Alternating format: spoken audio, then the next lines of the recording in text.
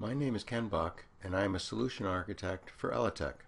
I would like to take this opportunity to introduce you to a number of new additions to the TCP Converter 2, which were added in various stages adding up to Release 18. This video assumes you are already familiar with the ELATEC TCP Converter 2. As a result, we will focus primarily on new feature content. If you wish to learn more about how the converter operates, feel free to view the other TCP converter videos on our YouTube website. Version 2 of our TCP converter is our main design platform and will continue to evolve. Our vision is to provide solution partners with the ability to remotely configure and manage the converter with minimal on-site involvement. Our initial version of the TC2 configuration discovery tool could only discover converters on the same subnet as the tool itself. In this release, that tool has been enhanced to enable discovery of the converters on multiple subnets specified by the user. In this release, we improved the layout of the web pages, as well as the performance in moving from page to page. In previous releases, a save and reboot was required for each new web page. Now, changes can be saved on each page, with only one reboot required after all the changes are complete. For enhanced security, the ability to invoke SSL for sending card reader data has been added. Syslog has been added to further enhance the ability to monitor the converters remotely.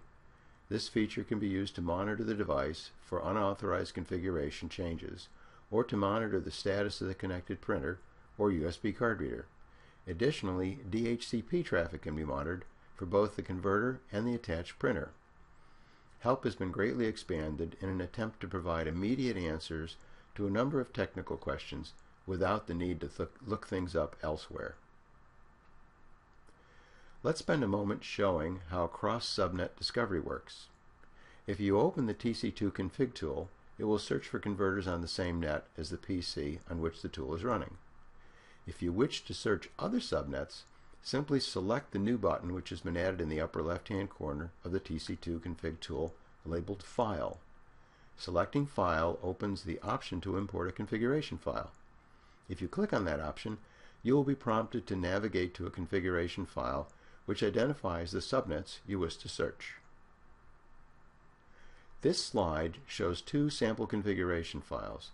The first one instructs the Discovery tool to search the 192.168.20 subnet with a mask of 255.255.255. This will search the range of addresses from 192.168.20 through 192.168.20.255 for a total of 256 addresses. Additional lines could be added to the file, which identifies different subnets to search. The second example file instructs the discovery search to, to search the 192.168.2 subnet with a mask of 255.255.00. This will search the range of addresses from 192.168.0.0 to 192.168.255.255 for a total of over 65,000 addresses. A search this large will generate a lot of unnecessary network traffic. Please try to restrict your searches to subnets which are known to contain converters. This slide shows an example of the improved Web UI layout. There's now a separate tab for Home, Network USB, RS-232, Logging, and Help. Also shown is the new ability to send card reader data via SSL or as plain text. Note also that the Save and Reboot button has been replaced by the Apply button. Reboot is invoked from the home screen, as you will see a little later. This slide shows a configuration page for logging, also known as syslog. Syslog is an application which is typically available as part of Windows Server. It presents a standardized interface to the network for event logging. Managed print vendors often use syslog to monitor asynchronous status from their printer fleet. A number of converter parameters can be monitored with the message sent via syslog whenever a particular event occurs. For example, if intermittent issues are showing up power and DHCP could be monitored to determine if the errors are related to time of day. This method is also useful when equipment is placed in locations where tampering might occur. For example, on college campuses where engineering students are prone to try their hand at hacking into the converter to change its configuration, or perhaps to borrow the USB card reader. A managed print application which polls the print syslog server for events such as this might be able to proactive, proactively deter these activities. There are a number of debug tools built into the converter, as well as two which can be used along with the converter. The first tool is the status web page. On that screen, one can view the converter's kernel and application firmware versions, the status of the connected printer, the status of the connected card reader, and the error log. The converter pings the printer once per second. If the printer does not respond, the status will change from OK to no link to printer, and the error LED will illuminate. Once the printer is connected, the status light will change back to OK, and the error LED will go off. In the future, this status will be added to syslog. The converter monitors the state of the USB card reader once every 10 seconds. If the reader is not detected, the converter status page will show USB disconnected, and once the reader is connected, it will show the type of device connected and whether it uses HID or CDC protocol. This status can also be reported via syslog. Syslog can be used for short-term debug, even if the site did not host a syslog server.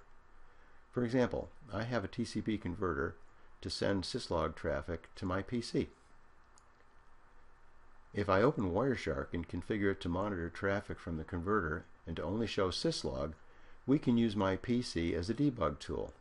Let me first show how Wireshark can be used to emulate a syslog server and show the state of the connected USB reader. With Wireshark running, I will unplug the connected USB card reader. Note after a few seconds the converter reports that the card reader has been disconnected. I will now connect a different reader and we will wait for the converter to report that change. Now I will unplug the CDC reader and reconnect the original reader and again we'll wait a few sec seconds for Wireshark to display the syslog status message. Next, let's introduce the Hercules tool. In order to demonstrate some of the attributes which can be monitored, let me navigate to the USB configuration page, where we will start with the, configure, the converter configured to behave as a client. Occasionally, field technicians will need to troubleshoot when a card reader data does not arrive at the authentication server. We can use a server tool like Hercules to troubleshoot this behavior. This tool can be freely downloaded from hw-group.com and can emulate either a client or server. With USB configured as client, Hercules is configured as server. In this case, we configure Hercules with the port number of the converter. For the USB, the de default port number is 7777. Select Listen, and Hercules will listen for network traffic with a destination of that port number. When I swipe a few cards, the card numbers appear in the Hercules Received data window.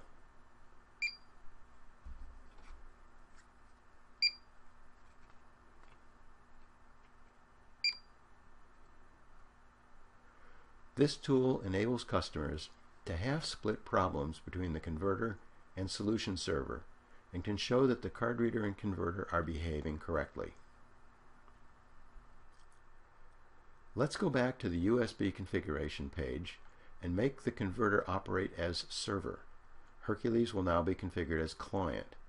To make this change permanent, we hit apply and then navigate to the home screen and select reboot. Let's go back to Wireshark and observe the various syslog messages as the converter reboots. The first message we see is that the configuration has been changed. After that, we see that the converter is powering up followed by its DHCP exchange. Note that we are required to credit the DHCP software developers with a few extra messages. These are only sent at power up in the converter and at no other time. Most of the time, power up and DHCP monitoring would not be enabled, which would certainly decrease the amount of syslog traffic. Okay, let's go back to Hercules. Because the converter is now configured as server, we need to configure Hercules as client. So we configure the IP address of the converter and keep the same port number for USB. Connect. Select Connect and Hercules will make a connection to the converter. I have a USB card reader connected and when I swipe a few cards, the card number appears in the Hercules Receive Data window. As a last step, let's disconnect. I will then plug in the USB card reader and turn off the connected printer. Let's return to the status page and observe that the card reader and printer are absent.